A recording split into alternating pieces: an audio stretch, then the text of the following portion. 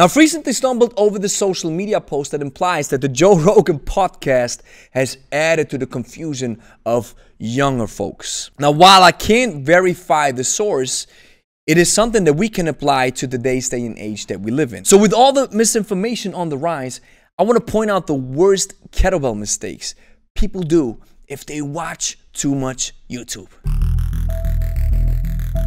Greetings, veteran. Gregory from. Now, I'm a YouTuber myself and I understand how the system works, but I'm a coach first. That means I want to follow guidelines that are evidence based so I can help people in the best way possible. Now, these mistakes are not the typical ones, like making sure that the kettlebell doesn't drop on your feet or making sure that it doesn't destroy your wrist.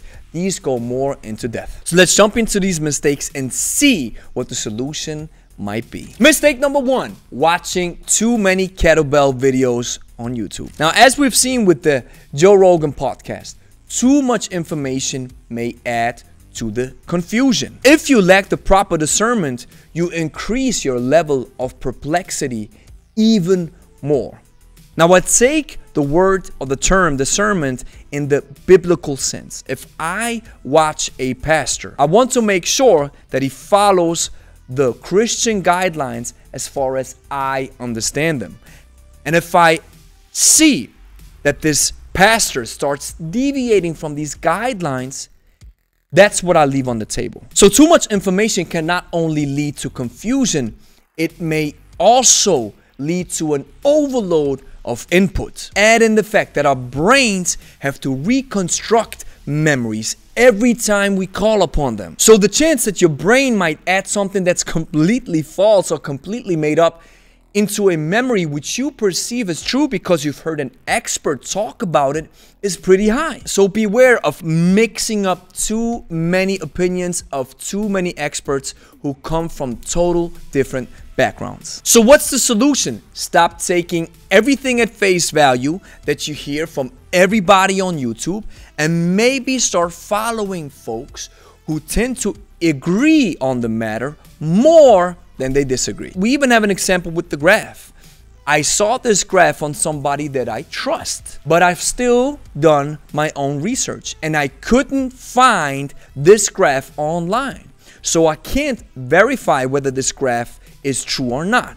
So I had to insert this in the video. A mistake number two, lacking self-awareness. A props to Neo Vitosky for this one. If you look at Chinese for the rest of your life without anybody teaching you on how to interpret the language, you are wasting your time. Even if you claim that you're getting better at it by just looking at it, if you don't have any entry points and you try to do this everything on your own, you'll miss out on these important cues to really understand the language. And maybe, even if you come to the realization all by yourself, it'll probably take you ages, an eternity, to learn the language. So, this realization that we all need somebody to help us at some point requires a good amount of self awareness. If we take the snatch, for example, this is one of the most complicated and complex exercises that you can do with the kettlebell. Now, you see us do it, and you've never got coaching on it.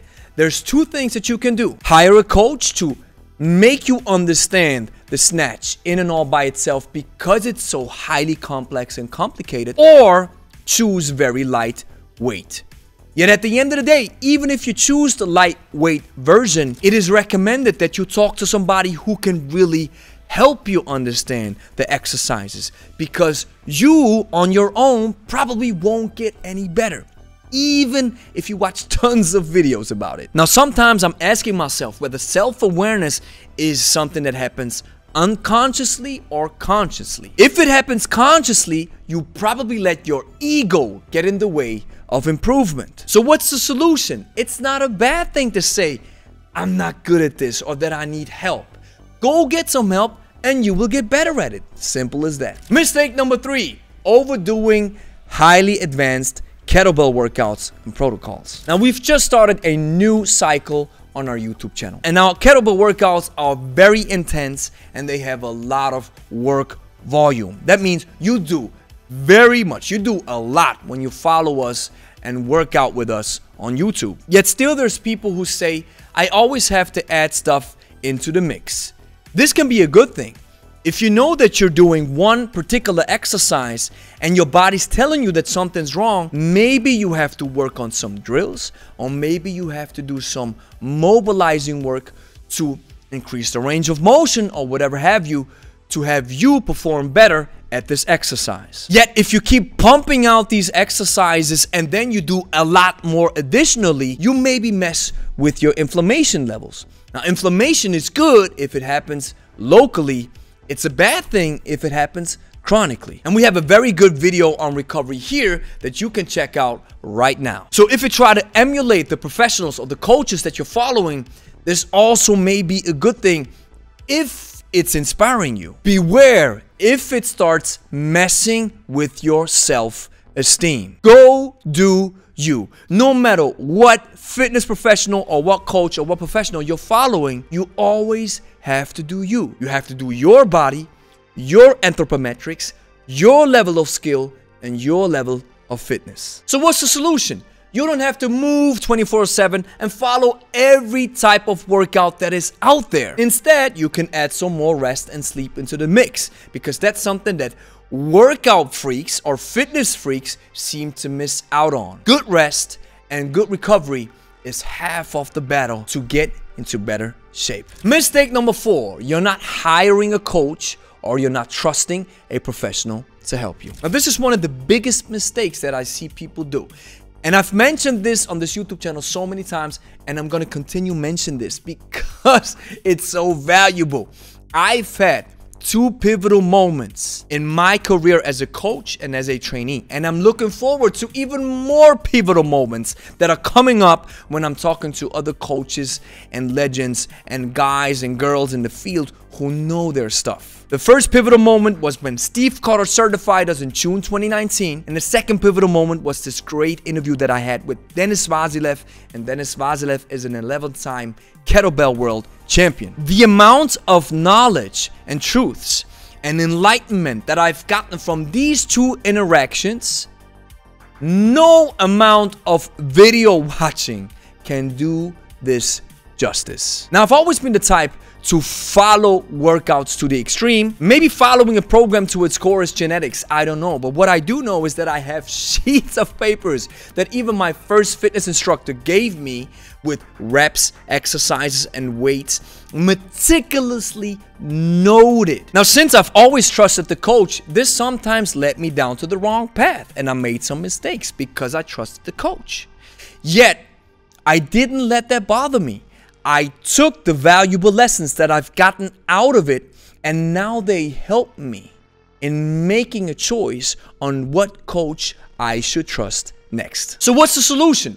If you want to be good, talk to somebody who's good and talk to somebody who's better than you. There's a saying that goes, if you're always the smartest person in your circle, your circle is too small. And this goes back to the self-awareness thing. If you want to be successful, talk to the folks who are already successful, who are there where you want to be. Because both of you are on the same journey.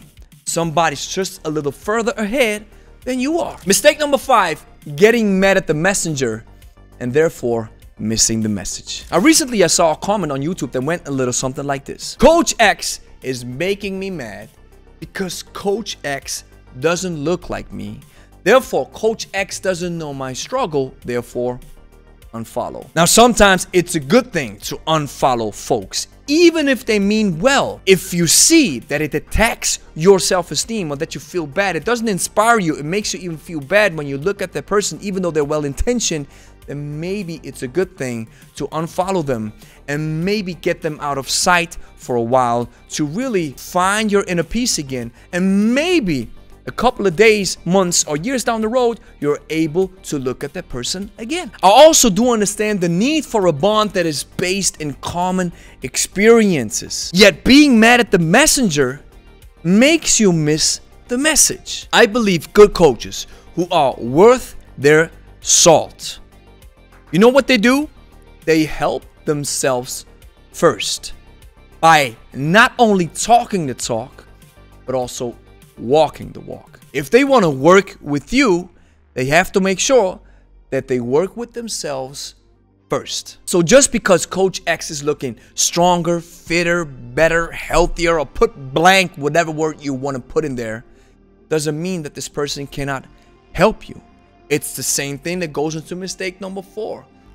You're both on the same journey, just at two different spots. So what's the solution? Maybe sometimes, like my mama told me, we have to check ourselves whether envy or jealousy is involved. So thank you for watching. If you liked the video, like it, consider subscribing if you want to see more kettlebell content, and go check out 90 days of kettlebells. This is our specific kettlebell workout course. What we did with this program was combining easy kettlebell training that gradually increases in difficulty with easy to follow nutrition coaching because we help people lose weight in real life with the power of the kettlebell and nutrition coaching. Link is in the description.